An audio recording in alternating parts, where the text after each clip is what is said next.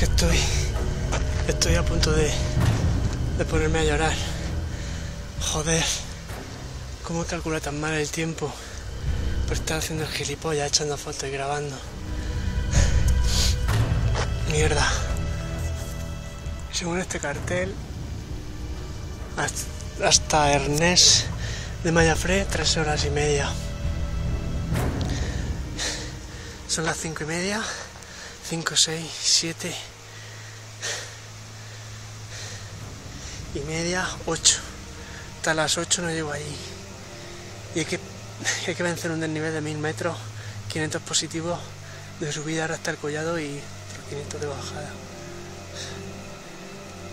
Estoy a punto de llorar, joder.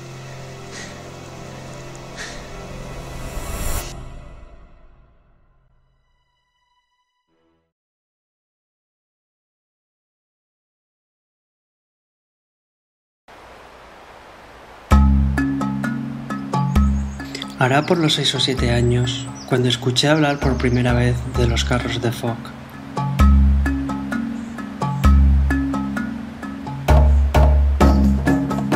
Los infiernos, Panticosa, el Pirineo de Huesca, Monteperdido, Ordesa eran nombres propios familiares para mí en aquellos tiempos.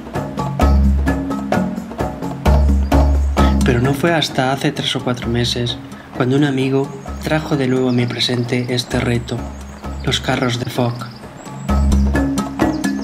Más de 65 kilómetros de recorrido circular, 9.000 metros de desnivel acumulado, con nueve refugios donde poder dar descanso al camino. En el Parque Nacional de Huestortes, en Lleida. Si ya de por sí el Pirineo nos invita siempre a la aventura, esta vez el reto bien lo merecía. Hacer todo el recorrido en menos de dos días, hacer la ruta en autosuficiencia y con todo el equipo de fotografía y vídeo en la mochila. El tiempo habitual en hacer carros de Fock es de entre 5 y 7 días. El reto era hacerlo en menos de dos días en autosuficiencia y con 20 kilos a la espalda. En pasos solitarios, en pedreras lunares, son muchos los sufrimientos y pensamientos que atacan al aventurero. Los comparto contigo en este documental, Carros de Fock en 36 horas.